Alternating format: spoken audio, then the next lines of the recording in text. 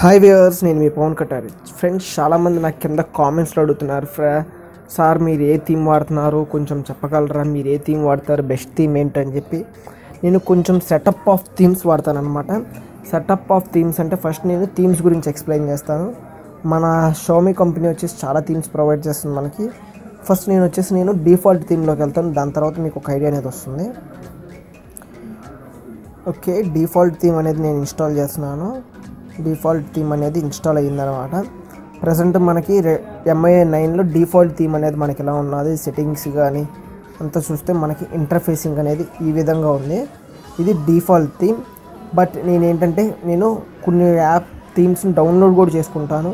For suppose ఇక్కడ మనం Android N for suppose Android N అని చెప్పి సెర్చ్ చేశాను అనుకుందాం. నాకు ఒక థీమ్ అనేది వస్తుంది. కరెంట్ ఇక్కడ మీరు చూపిస్తాను. ఓకే. ఆండ్రాయిడ్ ఎన్ మీద ఏం లేదంట. ఓరియో సపోజ్ ఓరియో అని చెప్పి సెర్చ్ చేస్తాను. ఈ పేరు మీద కూడా మేబీ ఏమైనా రాకపోవచ్చు. నేను ఏమైనా డౌన్లోడ్ చేస్తాను ఇలాగా. డౌన్లోడ్ చేసినవి మనకి ఇక్కడ థీమ్స్లో ఉంటాయి. నేను డౌన్లోడ్ చేసింది వచ్చేసి ఆండ్రాయిడ్ ఓరియో ఈ థీమ్ నేను ఒకటి ఎక్స్ట్రాగా డౌన్లోడ్ చేశాను.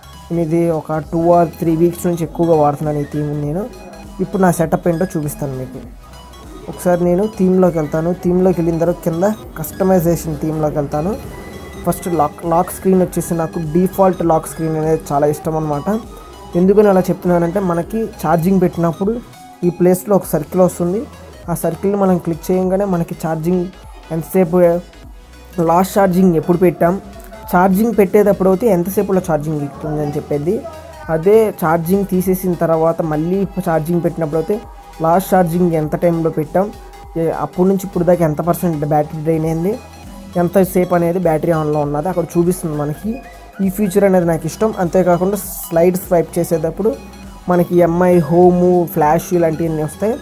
అందుకే నేను డిఫాల్ట్ లాక్ స్క్రీన్ అనేది పెట్టుకుంటాను అనమాట ఫస్ట్ సపోజ్ ఇక్కడ మీకు లాకేజ్ చూపిస్తాను. ఓకే. ఇదిగోండి ఇక్కడ మనకి ఇలా స్వైప్ చేయగానే సైడ్ అనేది ఇలా ఉంటుంది. ఓకే నేను అనేది లాక్ తీసేస్తాను మేబీ ఇది మీకు రికార్డ్ అయ్యి చూపించకపోవచ్చు లాక్ అయినప్పుడు చూపిస్తే కనుక ఓకే. నేను ఇంకోటి స్టేటస్ బార్ వచ్చేసి నాకు ఓరియో స్టేటస్ బార్ అనేది చాలా ఇష్టం అనమాట నేను ఓరియో స్టేటస్ బార్ అనేది ఇన్స్టాల్ చేసుకున్నా. ఇదిగోండి నాకు ఇన్స్టాల్ అయ్యింది. ఇన్స్టాల్ అయిన తర్వాత నాకు ఇక్కడ ఇంటర్ఫేసింగ్ అంతా మనకి ఎంఐ లాగే ఉంది. ఇక్కడ చూసుకుంటే మొత్తం ఇక్కడ కూడా మీరు అబౌట్ ఫోన్లో కూడా చూసుకుంటే అంతా ఎంఐఏ ఉంది. జస్ట్ నాకు స్టేటస్ బార్ ఒక్కటి మారిద్ది అంతేకాకుండా రీసెంట్ రీసెంట్ది కూడా మనకి దగ్గర దగ్గరికి అలాగే ఉంటుంది. ఓకే మన నెక్స్ట్ సెటప్ వచ్చేసి చూపిస్తాను మీకు. నా నెక్స్ట్ సెటప్ వచ్చేసి యాప్ ఐకాన్స్ యాప్ ఐకాన్స్ కూడా నేను డిఫాల్ట్ పెట్టుకుంటాను. డిఫాల్ట్ పెట్టుకోవడం వల్ల ఏంటంటే యాప్ యానిమేషన్స్ వస్తాయి అన్నమాట ఫర్ సపోజ్ నేను అవి అప్లై చేశాను. అప్లై చేసిన తర్వాత హోమ్ స్క్రీన్కి వస్తాను. హోమ్ స్క్రీన్కి వచ్చిన తర్వాత యాప్ అనేది యానిమేషన్ ఎలా వస్తుందో మీరు ఇక్కడ గమనించవచ్చు. థీమ్స్ అనేది ఫర్ సపోజ్ థీమ్స్. అలాగా మనకి వేరే థీమ్లో యానిమేషన్స్ లేదనమాట. ఓన్లీ డిఫాల్ట్ దాంట్లో మాత్రమే ఉన్నది. ఇందుకు నేను ఐకాన్స్ ఇది పెట్టుకుంటాను. మెసేజింగ్కి వచ్చేసి కూడా నేను ఓరియో పెట్టుకుంటాను.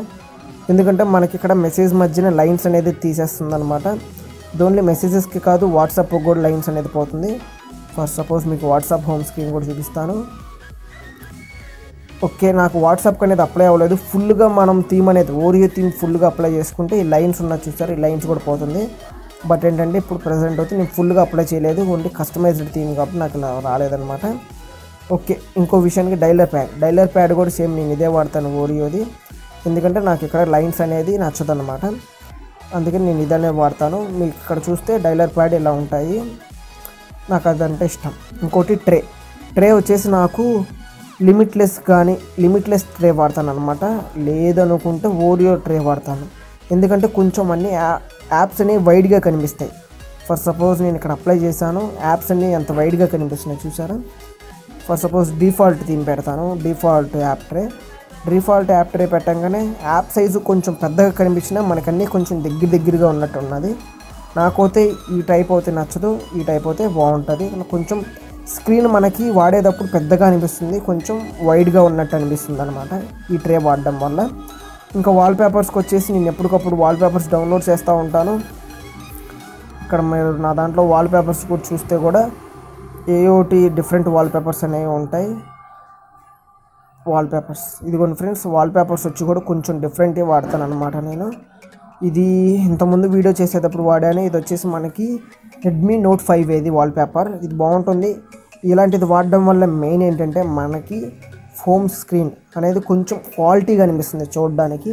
ఎందుకంటే మనకి దీంట్లో ఇంత కలర్స్ ఉండడం వల్ల క్వాలిటీగా ఉంటుంది.